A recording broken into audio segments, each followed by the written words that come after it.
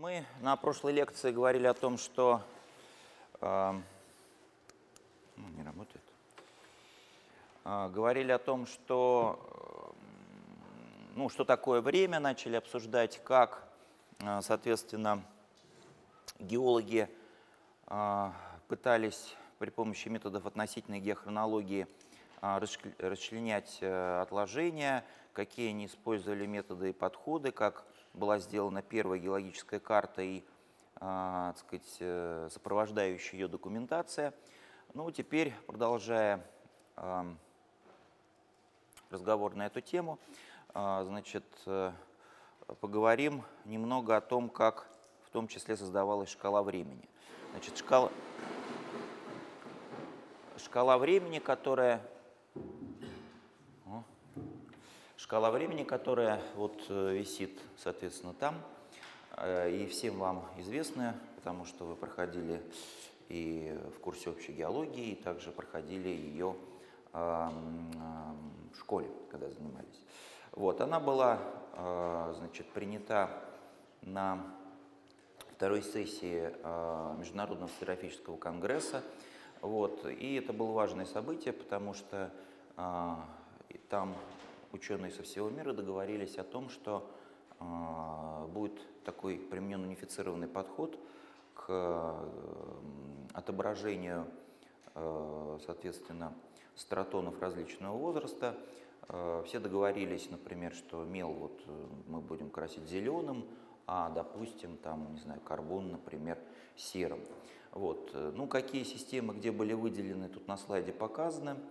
Вот. Вот к 40-м годам 19 века, так сказать, большая часть э, систем э, уже были выделены.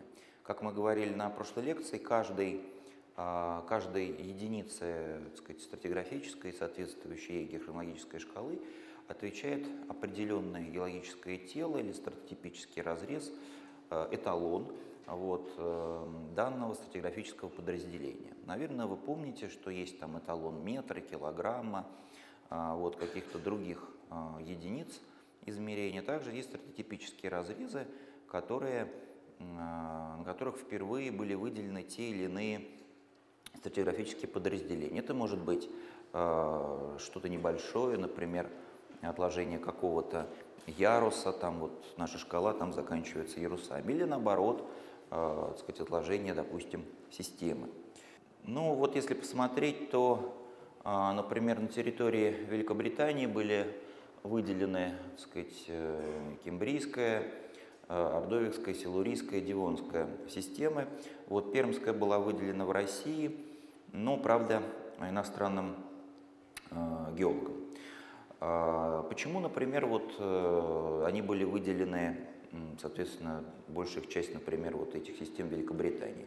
Ну, просто в тот момент времени, так сказать, вот ученые, в данном случае геологи Великобритании, их э, в большей степени э, интересовал этот вопрос, и это вот для них было актуально. То есть, в принципе, системы могли называться по-другому, быть выделены в других, соответственно, географических местах, но э, вот, соответственно, есть элемент определенной случайности. Как вы знаете, название систем происходит либо от географических названий, ну, например, там племя ордовиков, там вот, либо э, который когда-то населял территорию Великобритании, Соединенного Королевства, либо, например, графство Диваншир, вот, э, от этого, соответственно, Дивонское, например, Пермский край, Пермь в России, либо связано с какими-то событиями, ну, например, каменноугольное, это массовое а, образование каменного угля, или, например, меловой период,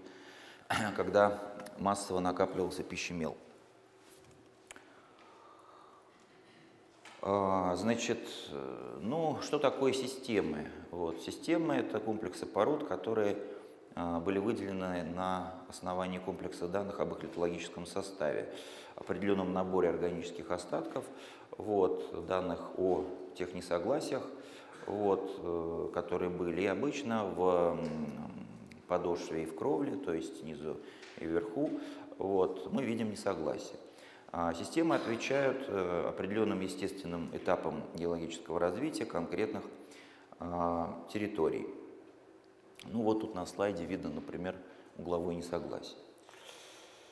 Значит, э, ну вот стратотип, об этом я уже говорил, это стратотип отложений Гжельского яруса.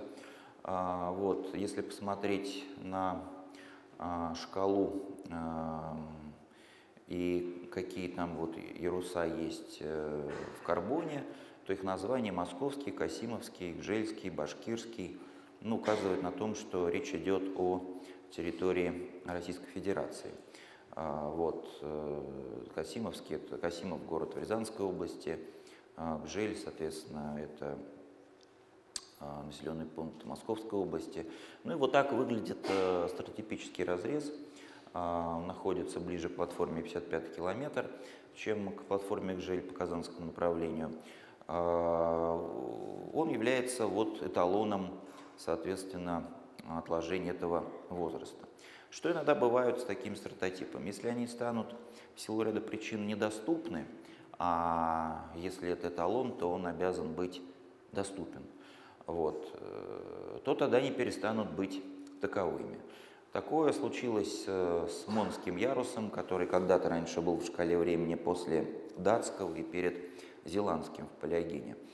А в районе города Монс в Бельгии был статотипический разрез, потом он стал недоступен, кто-то выкупил там какую-то территорию, и, в общем, туда пройти теперь не получалось. А, и поскольку больше пройти туда было невозможно, а, то, соответственно, этот разрез не мог а, быть использован как эталон. Поэтому, в том числе и по таким причинам, шкала времени она постоянно меняется, там иногда исчезают одни ярусы, появляются другие. Вот, это такая вот нормальная а, ситуация, которая показывает, а, что в целом, с одной стороны, динамично развиваются наши представления о а, модели геологического времени, с другой стороны, ну, что-то становится недоступное, вместо этого приходится искать новые стратотипы, и тогда, соответственно, либо какие-то яруса полностью исчезают, если мы не можем найти замену этого стратотипического разреза. И как, например, в случае с Монским ярусом, теперь его, так скажем, ну, по-старому, так сказать, Монский ярус – это по-новому вторая половина датского яруса. А, значит, после того, как были выделены системы и а, стали анализировать значит, содержащиеся в них органические остатки, то вот э, в первой половине XIX века а, заметили, что для некоторых, э, так скажем, интервалов геологического времени, э, ну, облик органических остатков более-менее похож или одинаковый. Поэтому выделили, соответственно, эру новой жизни кайнозой, эру средней жизни мезозой, эру древней жизни палеозой, по тому принципу, что сравнивали, насколько э, ископаемые остатки в слоях определенного возраста э, близки или похожи, э, соответственно, современные. Если они совсем как бы не похожи, ну, значит, это вот эра древней жизни. Если они так, ну, примерно, так скажем, наполовину похожи, ну, значит, эра средней жизни. И если они, ну, почти такие, как сейчас, значит, это эра новой жизни а, кайнозой. А, как вы знаете из курса палеонтологии, который у вас был, а, есть такое же а, разделение не по а, животным, а по растениям. И тогда это будет мезофит, кайнофит и палеофит. Но а, поскольку значит, некоторые из растений палеозоя, они, э, так сказать, пережили э, пермитриасовую границу, и мы их находим еще и в триасе. Получается, что палеофит заходит в мезозой. А с другой стороны, э, покрытосеменные растения появились примерно в середине мела, э, и кайнофит наступил тоже получается раньше, вот в середине, так скажем, мелового периода. И на мезофит приходится существенно меньше, чем на мезозой. В конечном итоге решили, что лучше использовать, так сказать, разделение по животным, как по беспозвоночным, так и по позвоночным, потому что по растениям а, это, так сказать, получается как бы менее детально. Вот. Тем более, если говорить о растениях, наверное, вам в курсе палеонтологии рассказывали, что ну вот представим огромное дерево, например, величиной сосну. Шансов у него в целом виде сохраниться в каком-то слое, ну, наверное, очень, очень-очень небольшие намного больше шансов сохраниться у какой-нибудь ракушки, размеры которой существенно меньше. А, так вот, для палеонтологов это нормальная ситуация для палеоботаников, когда они отдельно находят лист, отдельно находят корень растения, отдельно находят ствол, отдельно находят, не знаю, там условно плод там, или споранги, где споры находятся. И поскольку часто они находят отдельно все это, то они давали свои латинские названия. Так, например, корневая система – а, плавно липидодендрон получил название стигмария, сам фрагмент коры ствола, собственно, липидодендрон, а, лист липидофлоес, там, там где находились у него а, споры липидостробус, а потом они нашли случайно все это вместе и поняли, что это все на самом деле принадлежит одному растению. Вот. Э, ну, это нормальная практика. Иногда бывает, что а, ученые ошибочно реконструируют как животные, так и растения из, э, так скажем, запчастей от разных, соответственно, а, видов. А, значит, э, ну, ученые не сомневались в том, что эволюция идет от примитивных форм к более сложным. При этом любой вид, род, когда он хоть раз, соответственно, возник, вот, он проходит свой жизненный путь, вот, и, соответственно, прекращает свое существование, и больше уже второй раз появиться он не может.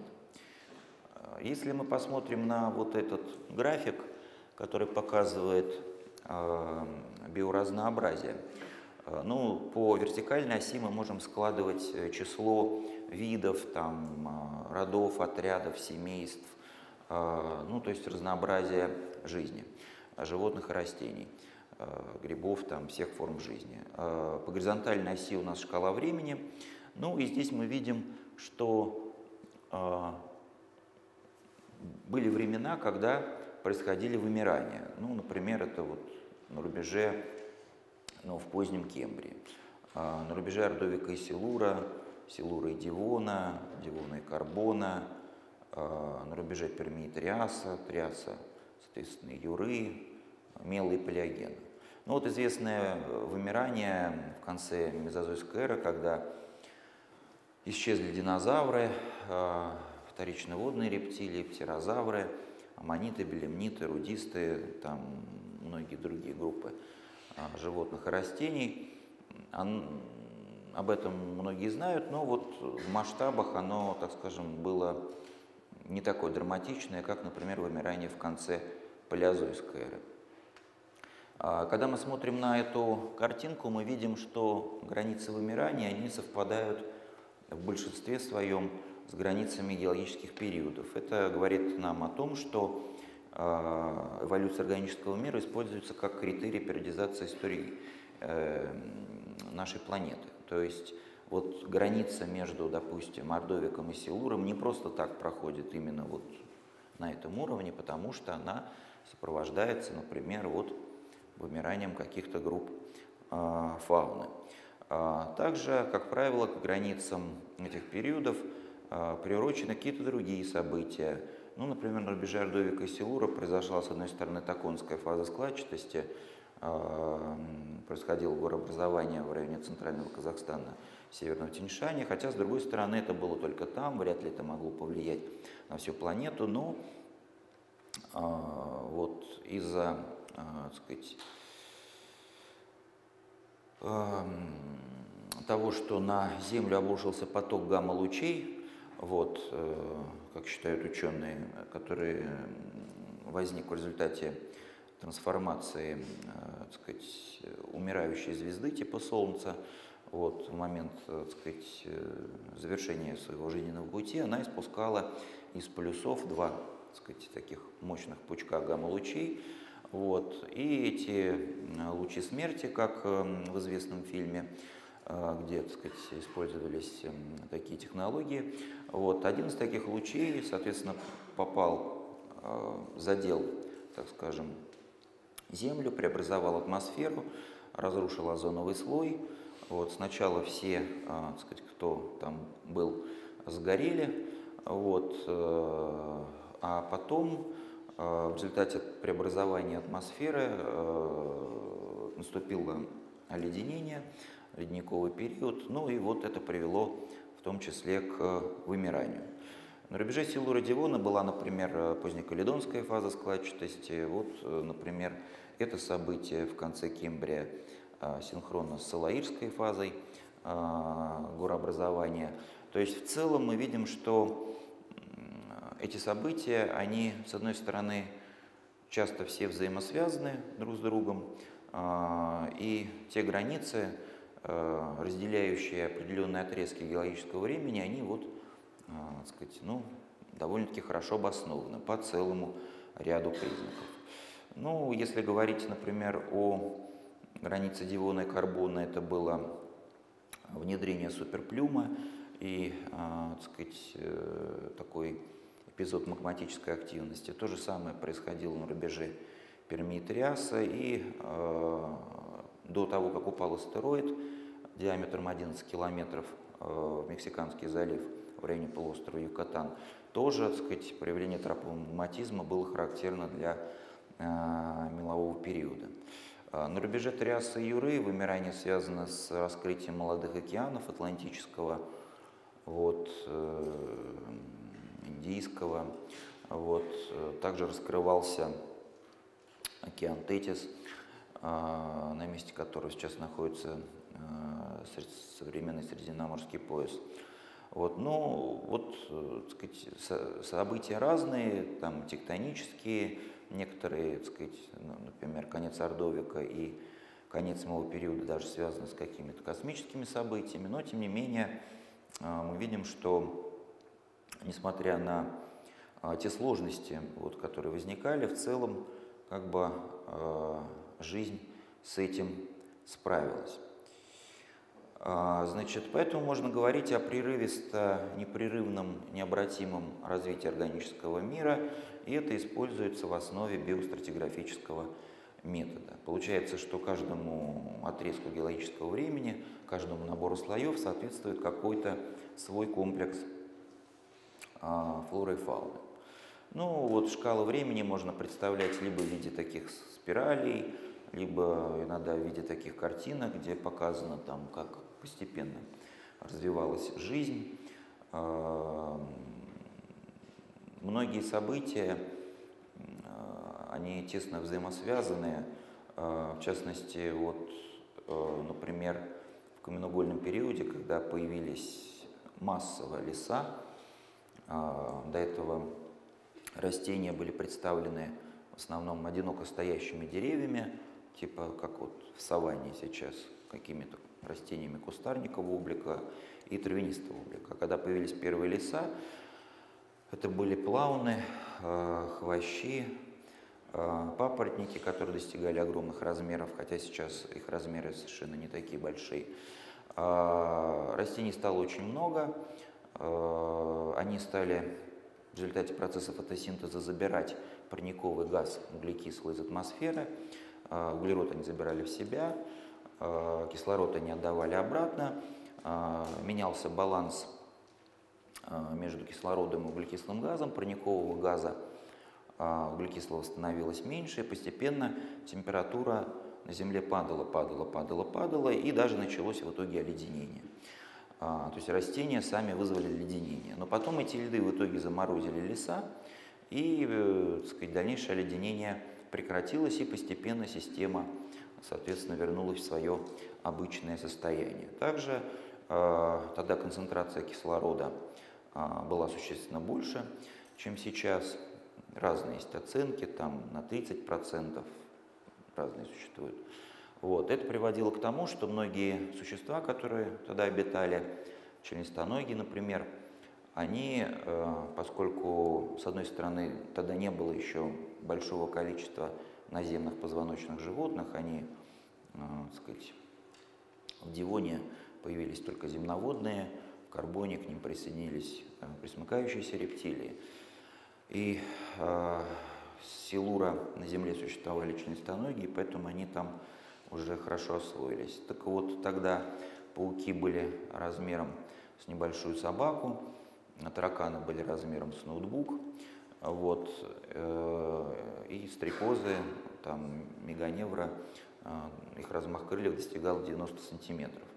Э, это нам говорит о том, что если, например, вновь концентрация кислорода станет существенно выше, то э, сказать, вполне возможно, что, например, некоторые так сказать, членистоногие могут вновь увеличить размер своего тела. А, ну, метод руководящих форм. А, значит, об этом мы частично говорили в прошлый раз. А, вот когда, соответственно, Маршидер, самоучка Уильям Смит, Страта, как его еще называли, создал свою коллекцию, когда они рыли Сомерсетский канал, чтобы уголь транспортировать в Лондон с э, угольных полей. А, значит, э, он собрал свою коллекцию и понял, что для каких-то определенных слоев есть какие-то вот определенные а, органические остатки. А, в дальнейшем он заметил, что, например, вот такие-то такие ракушки, они только характерны, там, допустим, для второго и третьего слоя, в четвертом слое они уже не встречаются. И тогда получается, что вот эти ракушки, они отвечают какому-то определенному этапу геологического развития. Руководящими формами называются те формы животных, растений, которые а, характеризуются максимально широким площадным распространением, но при этом существует сравнительно короткий диапазон времени. А, сначала составляется такая вот некая шкала из вот этих вот а, органических остатков, устанавливается их последовательность. Мы знаем, что вот этот организм, он вот характеризует например, слои после вот этих слоев, но перед вот этими. Вот. И это используется для определения относительного возраста. Э, часто речь идет о том, что э, не то, чтобы для каждого времени, в каждом слое только какой-то один существовал уникальный сказать, вид, род организма, они разные, из разных групп, то есть есть определенный набор, вот, и если мы этот набор встречаем, мы сразу понимаем, где мы находимся. Например, для палеозоя типичными руководящими формами являются трилобиты, а, вот, ракоскорпионы. А, больше они не встречаются ни в мезозойских, ни в кайнозойских положениях. Находка, соответственно, вот этих а, организмов нам однозначно говорит, что мы в палеозое. Если мы хотим более детально понять, где мы находимся, там, в Дивоне, Карбоне там, или Силуре, ну, значит, надо уже смотреть какие-то конкретные рода и виды этих, а, соответственно, групп фауны. А, типичными мезозойскими формами являются, например, аммониты, белемниты, двустворки нацерамы, вот, э, рудисты, ну, там, помимо динозавров и там ихтиозавров, плезиозавров птерозавров, еще некоторые другие виды фауны. Ну, для кайнозоя характерно много, сказать, довольно-таки причудливых млекопитающих, вот, у которых очень, так сказать, бурная шла эволюция в течение, соответственно, кайнозойской эры. Вот, а, значит, э, основные принципы, которые используются в исторической геологии, в стратиграфии, это принцип стенона или закон напластования – вот, э, если, соответственно, один слой пласт горных пород лежит на другом, вот, то, соответственно, тот, который сверху, образовался после того, а, который снизу. Вот, это дает возможность установить относительный э, возраст, что вот один слой древнее, чем другой. Вот. Есть, соответственно, э, принцип Смита-Гексли, закон фаунистических и ассоциаций, вот, что слои, которые содержат одинаковые или очень близкие по своему составу органические остатки животных и растений, они образовались, соответственно, в одно и то же время. И это все э, позволяет э, сравнить, скоррелировать, синхронизировать между собой слои, которые залегали в разных местах. А, вот почему, например, в Великобритании а, выделили там, соответственно, стратегические разрезы Кембрия, Ордовика, Силура, Дивона, и все это ушло в шкалу времени. Ну вот типичный разрез вот, э, комплексов э, этой местности. Мы видим, что там, соответственно, в складчатом виде у нас э, с северо-запада на юго-восток сначала выходит положение до Кембрия, потом раннего палеозоя Кембрий, Ордовик, Силур, вот, потом у нас, так сказать, лежит Дивон, вот, даже есть Карбон, Пермь, Триас, вот, соответственно, дальше пошли отложения Юры, Мила и даже есть отложения Палеогена. А, то есть этот а, вот участок местности оказался очень удобен а, для того, чтобы там вот проследить, соответственно, с одной стороны, существенную часть разреза стратосферы, вот, и с другой стороны, э, он был хорошо фонетически охарактеризован, что было э, удобно. А вот когда выбирали место, где студенты проходят вторую крымскую практику, э, выбран, соответственно, полигон крымский был тоже не случайно, потому что, с одной стороны, там есть тоже складчатое слование, как вот здесь. А дальше есть лежащие на нем так сказать, моноклинально, местами горизонтально отложение чехла второго структурного яруса или этажа. А, также в Крыму, например, видели, что есть и проявление так сказать, магматической деятельности, вы там ездили, смотрели интрузии, вот, э, то есть можно познакомиться с, не только с осадочными породами, но и с магматическими, потом вы еще с вулканоген-осадочными познакомитесь, и все это на сравнительно небольшом площади. Ну вот эта площадь тоже оказалась тогда относительно а, удачной. Вот, и ряд ученых вот, э, ее исследовали, поэтому а, предложенные ими названия легли в основу шкалы. Значит, ну, международная стратиграфическая шкала. Значит, э, для многих, а, ну, значит, когда мы смотрим на такую шкалу в таком виде, э, часто мы замечаем, что она э, все время меняется. Это нормальная ситуация. Э, во-первых, уточняются границы. Теперь для большинства границ есть датировки абсолютного возраста. Вот. Вообще это было большим открытием. То есть сначала была шкала, но никто не знал вот это время. Ну, то есть понимали, что вот там Римская империя, там египетские пирамиды, потом вот слои, там динозавры, там и так далее. Но когда это было в годах, ну, можно было лишь, э, соответственно, строить какие-то предположения. Потом, когда в середине 20 века была раскрыта тайна атома, вот, активно, соответственно, изучали процесс радиоактивного распада. Э, потом, сказать, применив методы абсолютной геохронологии, э, стали датировать отложения, и первым шоком было для всех понимание, что до Кембрий, который там у нас тоже занимает вот небольшую часть шкалы, на самом деле занимает 85% всей длительности геологической истории Земли. Потом никто, конечно, не ожидал, что речь идет о миллиардах лет. Вот.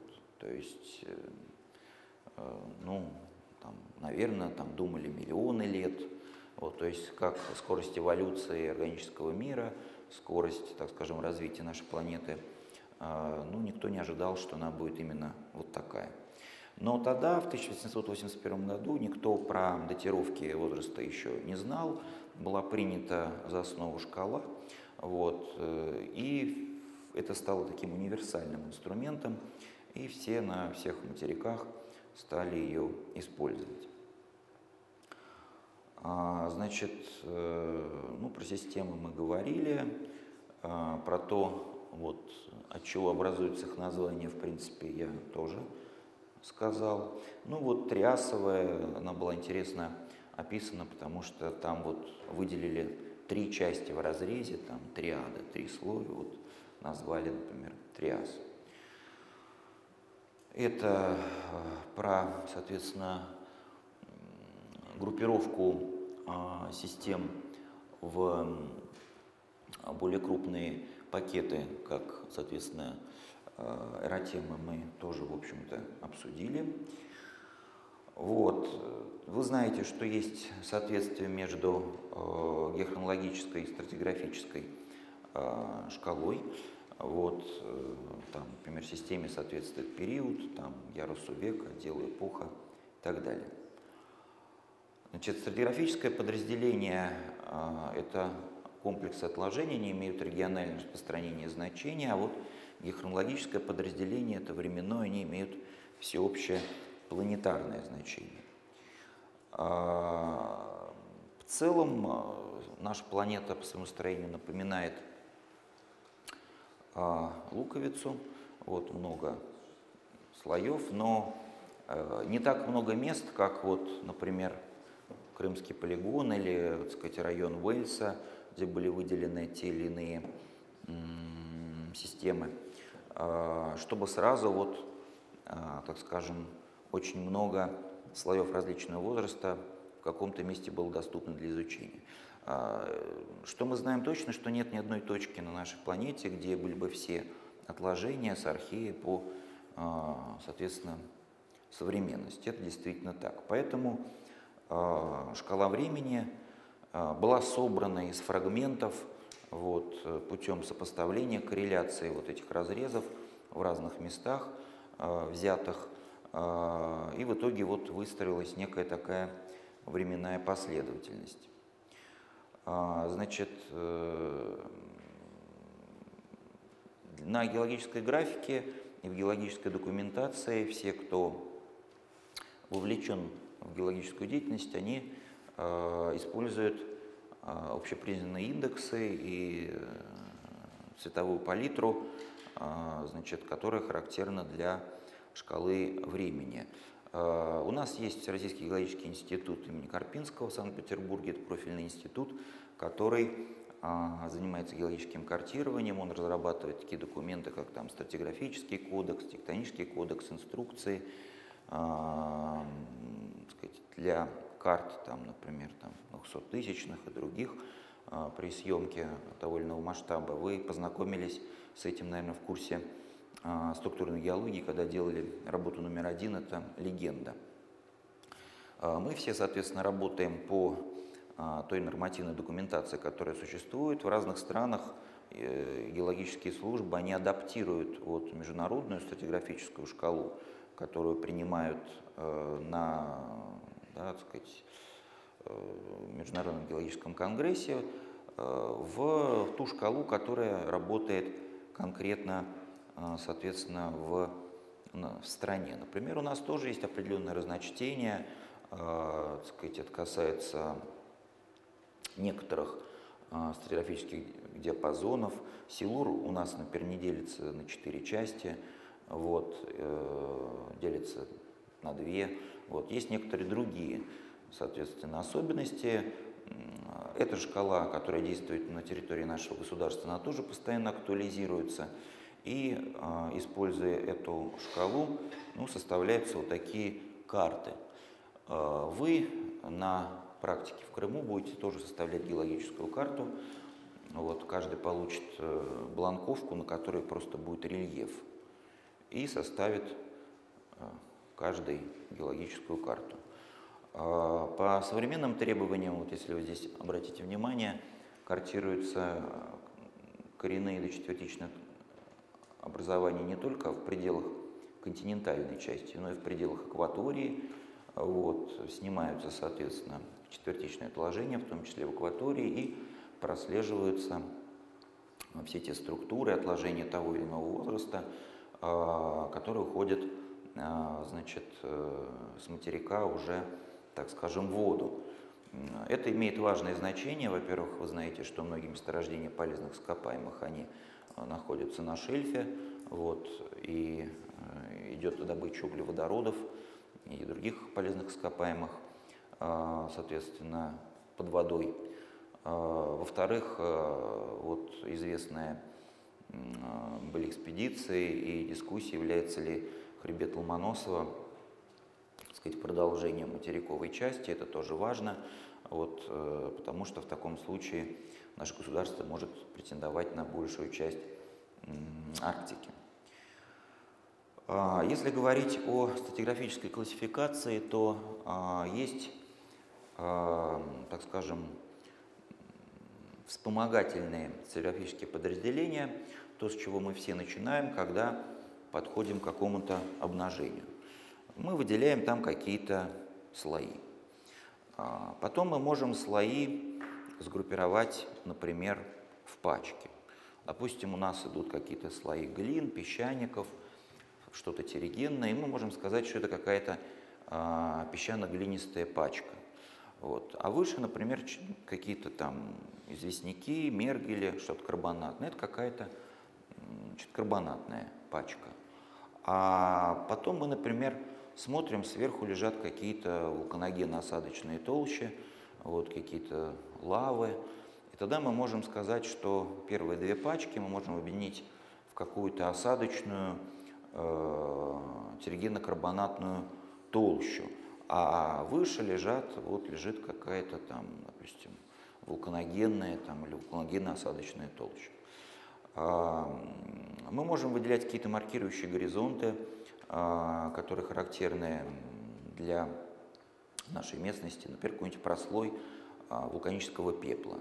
Вот было извержение вулкана, и а, его следы мы находим в разных местах. Этот пепел упал в воду, этот пепел там упал на сушу, и теперь есть некий такой вот маркирующий слой, который мы можем проследить как в пределах акватории, так и в пределах материка.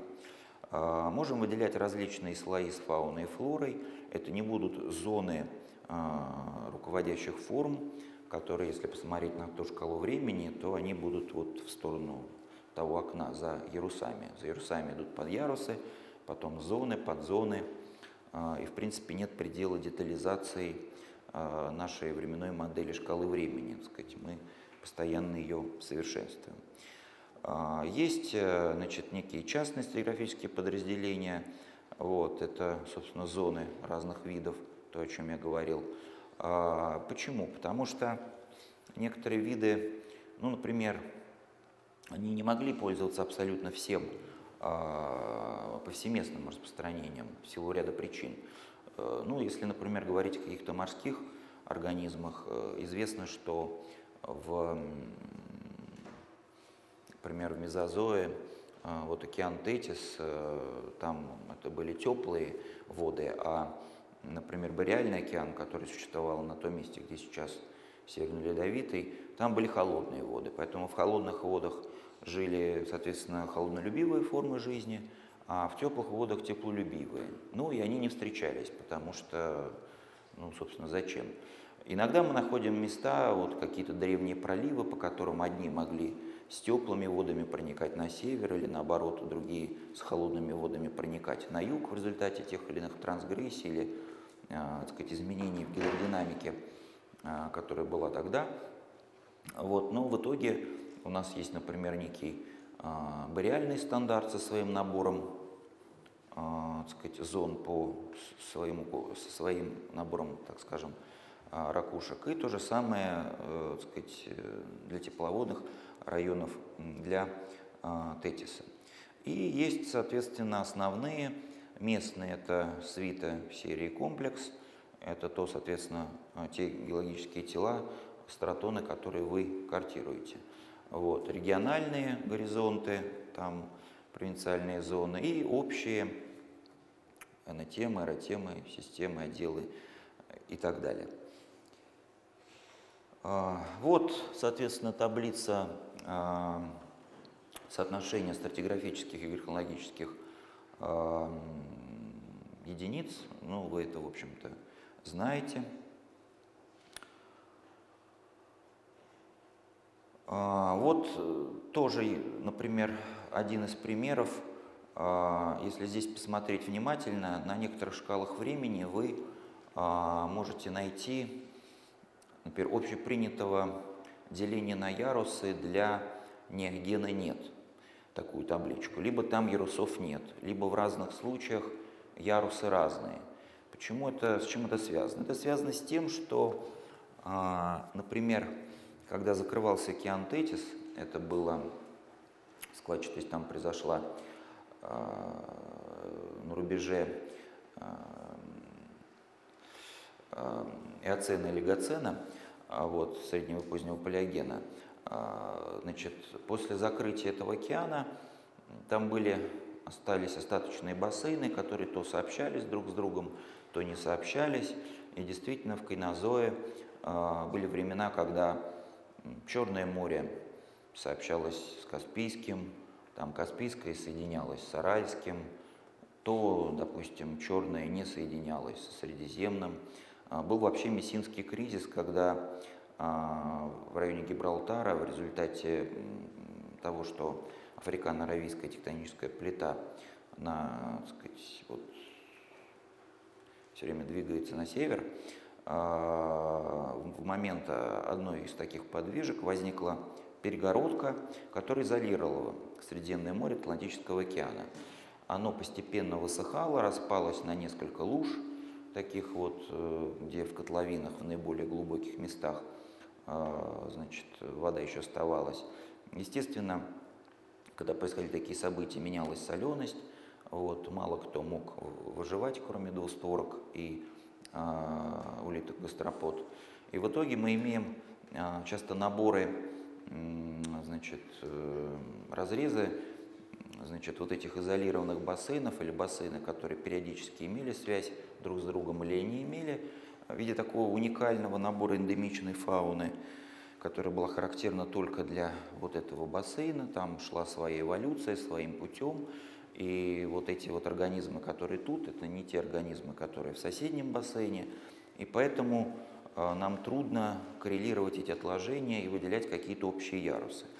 Тогда выделяются региональные ярусы, что часто вот характерно для Крымско-Кавказского региона, который тоже, соответственно, входит в Средиземноморский пояс. Сейчас у нас 5 минут перерыв, потом мы продолжим.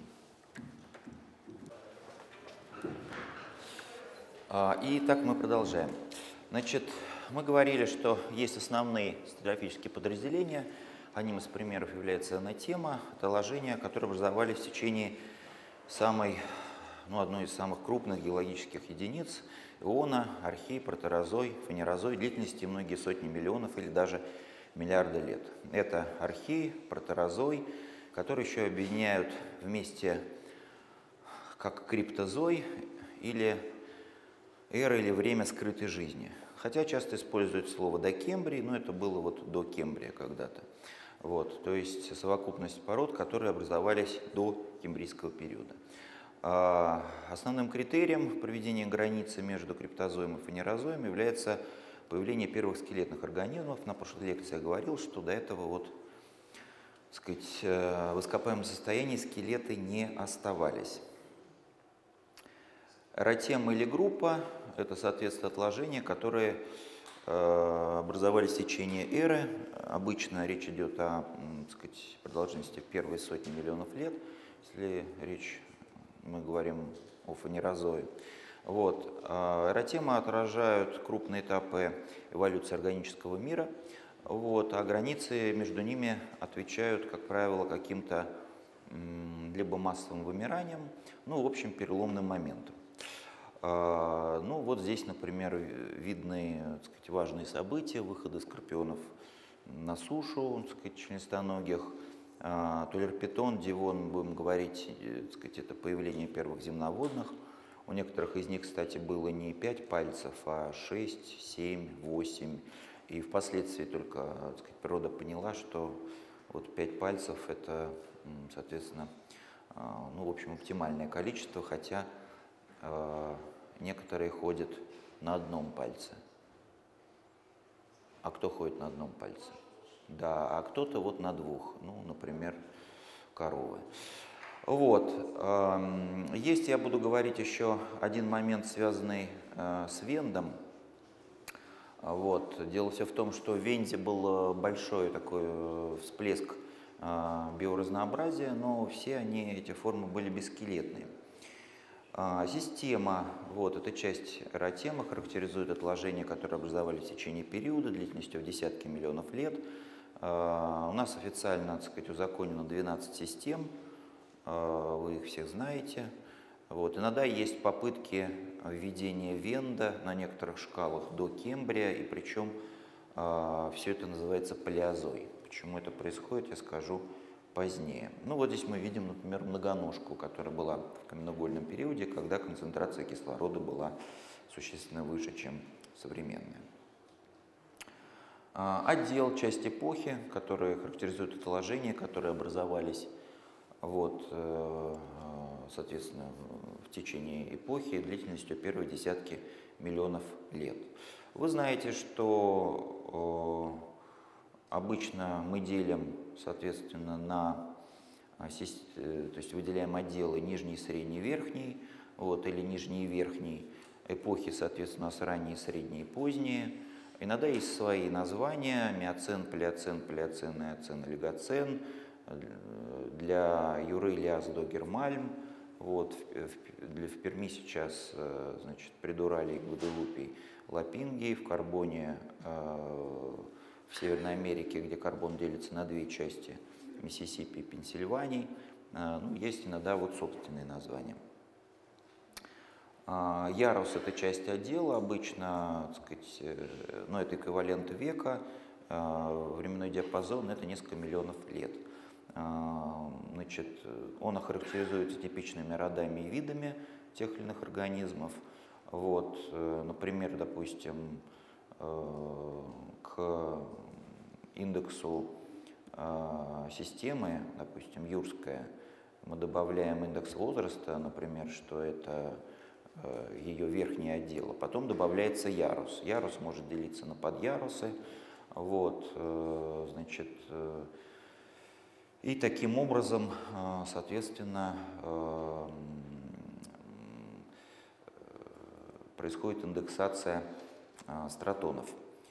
Зона – это часть яруса, которая охватывает отложения, которые образовались в течение одной фазы, порядка 1-3 миллионов лет. Вообще длительность ярусов тоже бывает разная. Например, одни ярусы могут иметь длительность 12 миллионов лет, а некоторые 1 миллион лет. Такое тоже иногда бывает.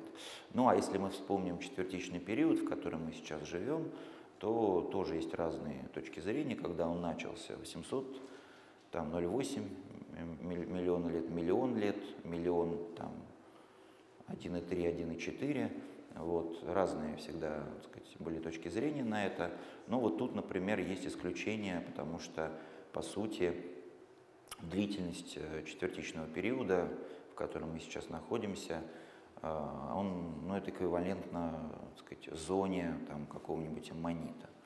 Вот. Э, это тоже еще одна из проблем, иногда есть шкала времени, где мы все живем в неогене, а четвертичного периода вообще нет. А четвертичный период, он как ярус записан последний, соответственно, вот в колонке, где ярус.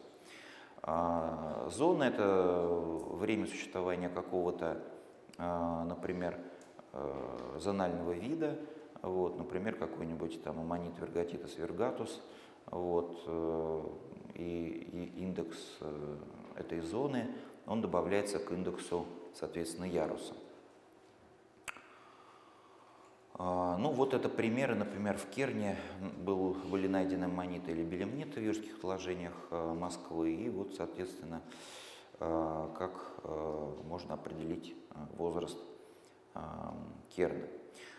Звено, оно выделяется в составе четвертичной системы, вот, э, соответственно, звено объединяет Э, горные породы, которые сформировались в течение одного климатического цикла, э, который включает в себя похолодание, оледенение, ледниковье и потепление или межледниковье. Э, звено, как и все остальные так сказать, другие так сказать, стратофические подразделения, о которых я говорил до этого, тоже должен иметь свой стратотип. Вот. И вот климатостратиграфическое или литолого-экологическое обоснование. А, значит, э, мы говорили о том, что есть вспомогательные стратиграфические подразделения, вот, толща, пачка, слой и так далее. Вот, и э, название биостратиграфических подразделений происходит от характерных групп фауны или флоры, которые э, ну, характеризуют его. Местные региональные стратиграфические подразделения. Когда вы были в Крыму, вы слышали такие слова «таврическая серия», «таврик». Таврическая серия, она, ну, Таврида, там, Тавры, это Крым, вряд ли Таврическая серия, она будет в Австралии, в Антарктиде, вот, и в Африке, и в Северной Америке, и в Южной тоже. А, то есть это что-то а, местное. Сейчас мы будем об этом говорить. А, значит, местные стереографические подразделения – это определенные толщи пород, геологические тела, которые отвечают этапу геологического развития данного района, данного бассейна. Просто был, например, Крымско-Кавказский трог или часть, допустим, океана Тетис, и вот там, вот, соответственно, вот накапливались какие-то такие отложения – вот, э, они были разделены какими-то перерывами в определенные времена. А, а в другом месте, так сказать, э, стратегическая летопись была немножко другая, перерывы там были немножко другие, и в другое время, и бассейн вообще был другой.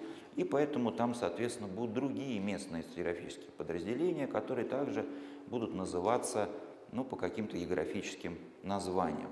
В дальнейшем мы можем пытаться объединить, соответственно, местные стратеграфические подразделения, для регионов какие-то региональные стратеграфические подразделения.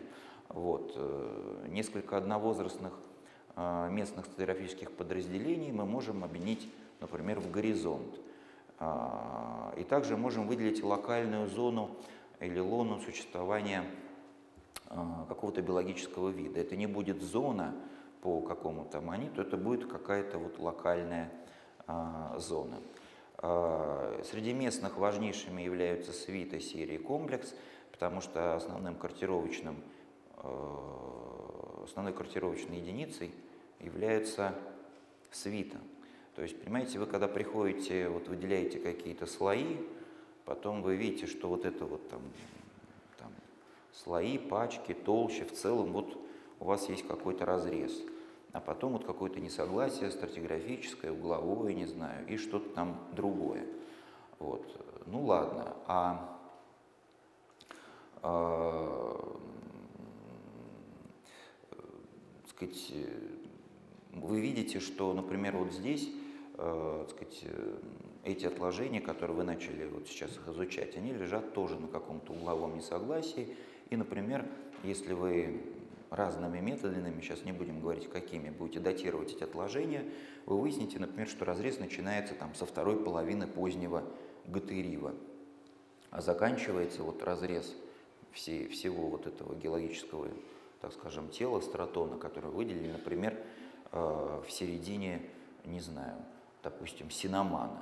Вот. И картируются не яруса, не ярусами, соответственно, идет картирование, а конкретными теми геологическими телами, которые вот опознаются а, в данной конкретной местности.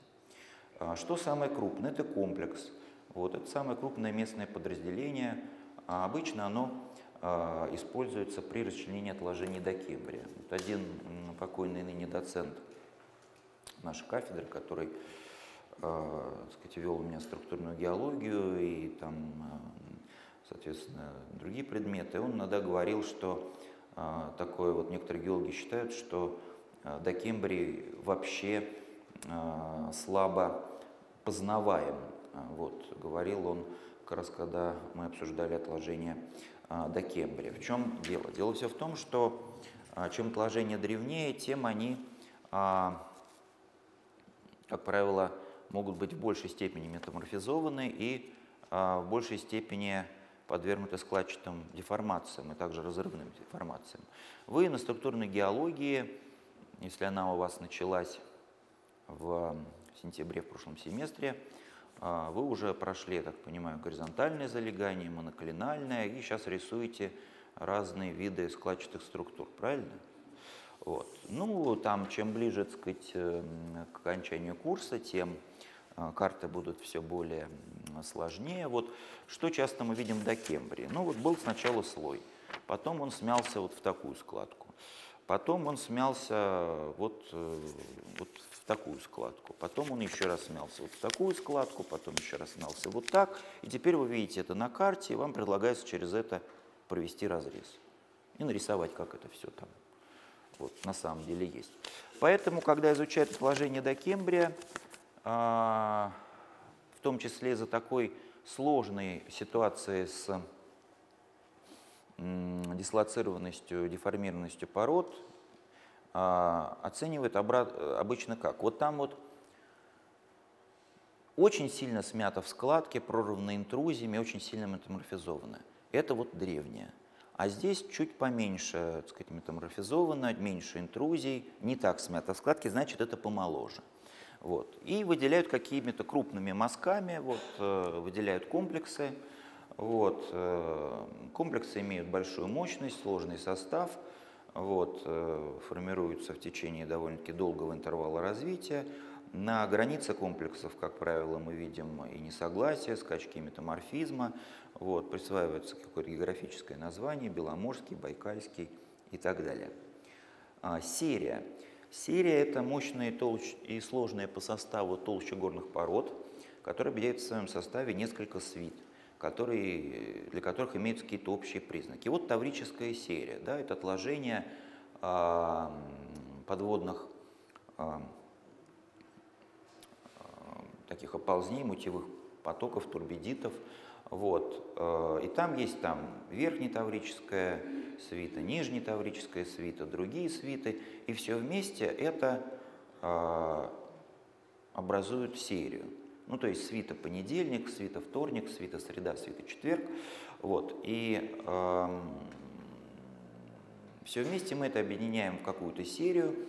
Э, при этом мы понимаем, что все эти отложения более-менее формировались в похожей обстановке, в одном бассейне. И вот когда так сказать, этот бассейн возник, они начали формироваться, а когда так сказать, в нем произошла так сказать, складчатость в этом бассейне, он закрылся, он перестал существовать, ну и там перестали, соответственно, эти отложения накапливаться. А, они немножко отличаются. Мы можем их отличить друг от друга, поэтому мы выделяем их как свиты, но в целом мы можем их объединить в что-то общее, как серию. Но это примерно тот принцип, когда вот мы слои группируем в пачке и дальше в толще. Значит, у них есть сходные условия образования, например, а, все они образовались в Крымско-Кавказском глубоководном троге. Преобладает определенный тип горных пород, это какие-то терригенные песчаники, э, так сказать, э, оливролиты, аргелиты, иногда там гравелиты, что-то еще. У них близкая степень деформации, метаморфизма. Ну, если мы говорим о породах таврической серии, например, вам известных, то в принципе там метаморфизма мы почти не видим.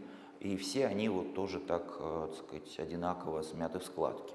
Но это логично, потому что все они накопились в одном э, бассейне, а потом он был, соответственно, деформирован. А, значит, э, серии часто разделяются стратиграфическими или угловыми несогласиями.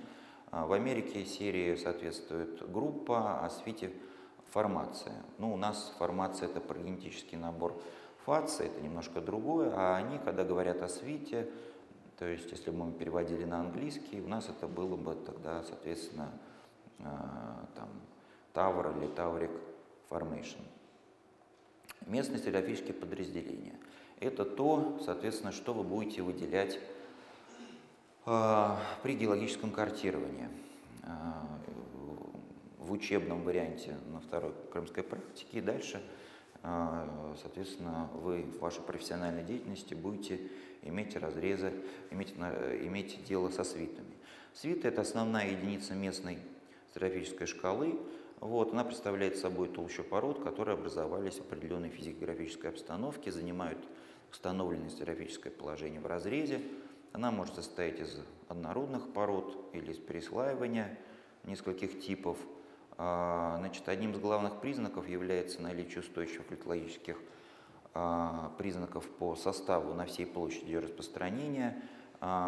четкое выделение границ, вот, и она отвечает определенному этапу геологического развития района. Возрастной, возрастной объем свиты может изменяться от места к месту. С чем это связано? Допустим, представим, что вот здесь в понедельник, вот здесь вот пришло море, и здесь начинают накапливаться вот какие-то отложения. Ну вот какая-то свита начинает формироваться. Ко вторнику уровень Мирового океана поднялся, и он вот затопил по какой-то третий, четвертый ряд. Теперь получается, что начиная со вторника отложения вот этой свиты, они будут вот э, на уровне третьего, четвертого ряда. Они будут и вот здесь. Вот. Но там не будет отложений понедельника. Уровень Мирового океана поднимается дальше, и в среду где-то вот он за, э, на уровне вот э, там вот, соответственно, того места, где лестница уходит вверх или вниз, вот, ну, где-то вот на уровне середины, так скажем, высоты нашей аудитории. И отложения среды, они начнутся и впервые появятся а, вот там, они будут и там, вот, где появились впервые отложения вторника, и вот здесь вот. А дальше, например, начиная с четверга у нас идет регрессия. Уровень начинает падать. И теперь, значит, э, у нас происходит откат береговой линии обратно как бы в мою сторону, и отложения четверга, они, так сказать, будут еще ближе ко мне, их не будет там, где, так сказать, были отложения среды, отложения пятницы будут еще ближе, отложения субботы вот будут только где-то здесь. Поэтому во времени, в пространстве свита часто напоминает собой, а, ну, такой как бы овал, ромб, чечевицу, вот некое такое тело, вот, которое имеет какое-то вот такое строение, где вот это, соответственно, время, ну, а это вот, соответственно, пространство. Вот, значит, э, поэтому возрастной объем свиты, он может меняться от места к месту. А, значит, э, название свита получает по географическому местонахождению стратотипа, например, у вас э, будут там Прохладинская свита, ну это деревня Прохладная, Белогорская свита, там это город Белогорск. А, там Бахчисарайская, Симферопольская, ну вы догадались, там Качинская река Кача. А, иногда может быть название образовано, например, Высокобугорская свита, это гора Высокий Бугор, но это не название деревни или там города, а это, допустим, просто вот тоже географическое название. Или, например, Мангушская свита, это, так сказать, бывшее название села Прохладное, потому что по-татарски это соответственно, там был а, Мангуш. Региональные стратеграфические подразделения. Значит, если серия это свита понедельник, вторник, среда, четверг, то горизонт это вот свита там западная, центральная и восточная. Ну вот не знаю, свита станции метро университет, свита станция там метро спортивная там и свита там станция метро там парк культуры. Примерно вот как-то вот так вот. То есть горизонт – это региональное подразделение, которое объединяет одновозрастные свиты их части. А, название горизонта, а, как правило, либо берется а, название какой-то свиты, обычно делается так, иногда бывает, что это может быть какое-то свое собственное название. Вот. Геохронологическим эквивалентом служит время. Ну, например, Мячковский горизонт среднего карбона и Мячковское время. А, Луна – это провинциальная зона, вот, она устанавливается по комплексу фауны и флоры, который характеризует данный регион, а, отвечает определенному этапу геологического развития. Вот. Границы Луны определяются характерным видом зонального комплекса. Луна имеет стратотип, содержит зональный комплекс. А, вот. Название происходит от вида. Вот. Геохронологическим эквивалентом Луны является время. Какие вообще есть проблемы с определением геологического времени? А, в действительности мы имеем дело, и вы будете иметь дело, с далеко не а, большим фрагментом а, записи, так скажем, геологической летописи, потому что есть перерывы в осадконакоплении, есть моменты, когда ничего не накапливается или накопилось, но потом разрушилось. Вот. Э, оно могло так сказать, механически разрушаться, химически растворяться, могло, соответственно, быть разрушено и переотлагаться. Об этом я говорил на прошлой лекции, когда вот говорил про то, что в понедельник там замерз воробей, во вторник в слой снега замерз голубь, в среду ворона, а в четверг все растаяло, они лежат на асфальте. А в пятницу пошел снег, там замерзла синичка, и может сложиться ощущение, что все они жили в пятницу и тоже вот погибли в пятницу, хотя на самом деле это не так. Вы знаете вот про такой известный круговорот осадков, вот, когда, соответственно, из одних а, пород потом в конечном итоге получаются другие. Есть, помимо того, что мы имеем дело с небольшой частью того, что сохранилось, э, сказать, те предметы, методы и подходы, которые мы используем при изучении, они тоже не совсем идеальны. Вот, есть абсолютное относительное летоисчисление, так же, как, вот, видите, есть там солнечные часы, песочные часы, механические часы, то есть разные, так сказать, люди использовали, например, подходы к определению времени. Вот. Разные есть э, так сказать, модели геологического времени, шкалы. Вот. Есть вот такая вот круговая, например, тоже интересная. А, дальше, например, Вент. А, в Венде а, интересное время. Как вы знаете, Вент это перед э, Кембрием. Значит, э, в Венде ученые находили неожиданно для себя, иногда размером с человека, идеальные отпечатки бескелетной фауны. То есть мы знаем, что Вент, он до Кембрия, ракушек, так скажем, раковин, которые сохраняются в ископаемом состоянии, не было.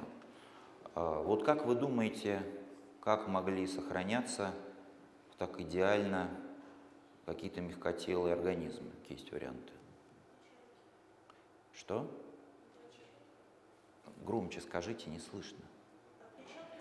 Отпечатки сохраняются. Да, почему сохраняются отпечатки?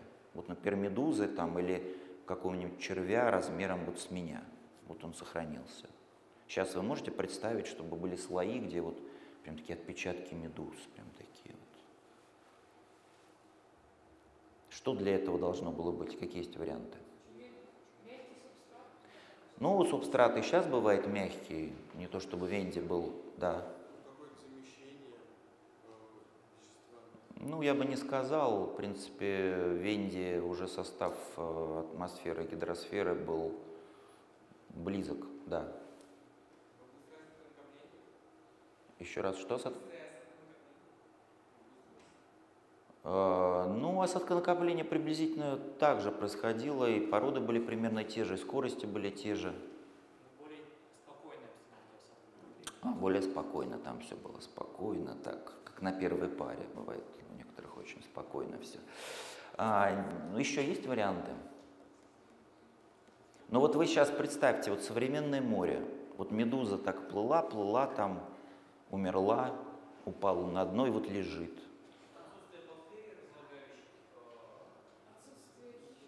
Да, вот отсутствие хищников и подолиедов. Тогда, понимаете, было э, в Венде уникальный момент времени. Э, никто никого не ел.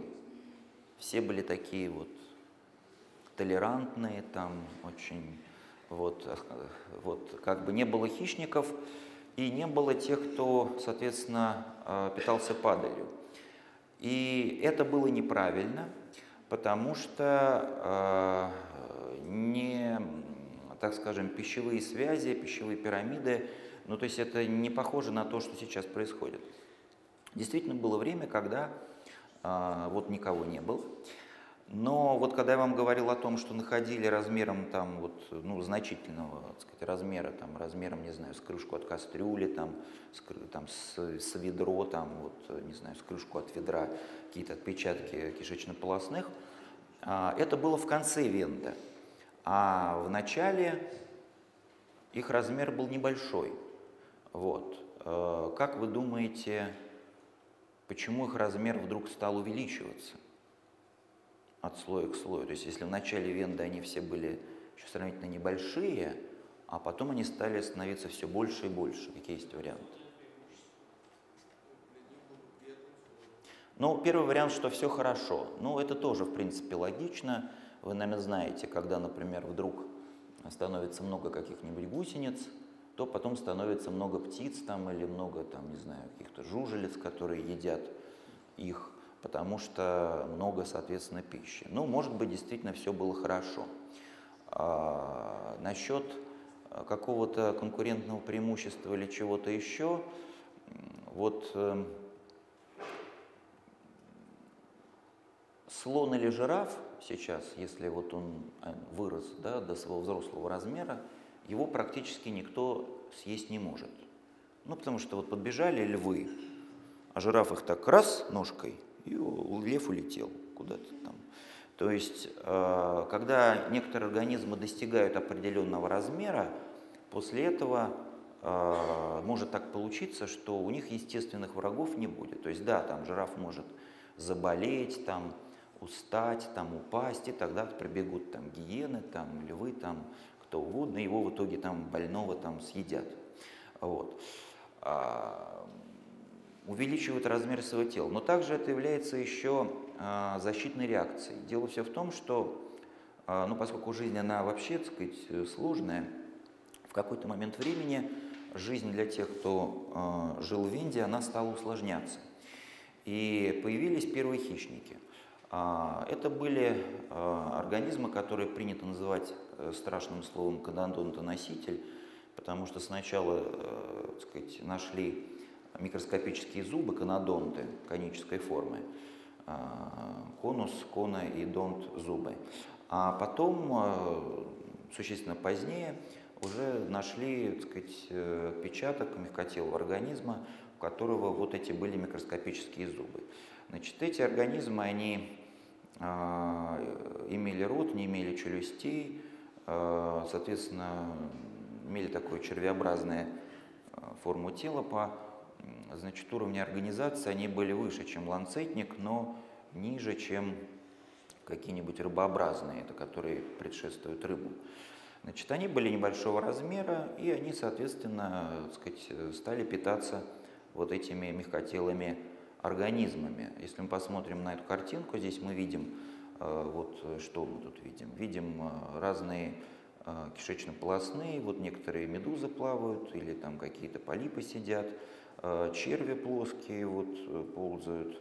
Вот есть некие представители групп неясного систематического положения, которые жили только тогда, и больше, так сказать, уже мы их никогда и не встречаем.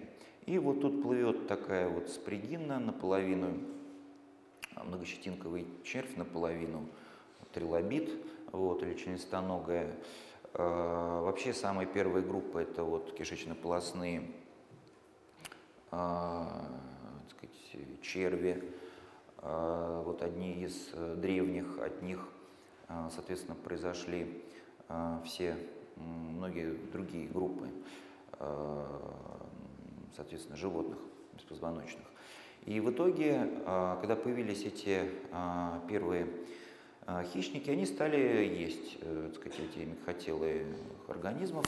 Те пытались э, решить проблему увеличением размера своего тела, что и видели, соответственно, геологи, э, сказать, изучая разрезы Венда, где в конце Венда вот они стали очень большими. Но в итоге это привело к тому, что если раньше к медузе подплывал один канадонтоноситель, то к большой медузе теперь подплывало 25 канадонтоносителей с разных сторон. И, соответственно, а, ее съедали.